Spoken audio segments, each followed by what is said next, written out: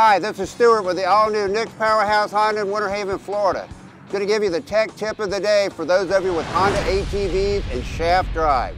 Okay, on the shaft drive units, you have a final drive front and rear.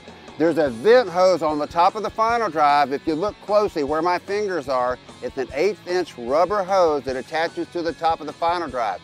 And there's one front and rear.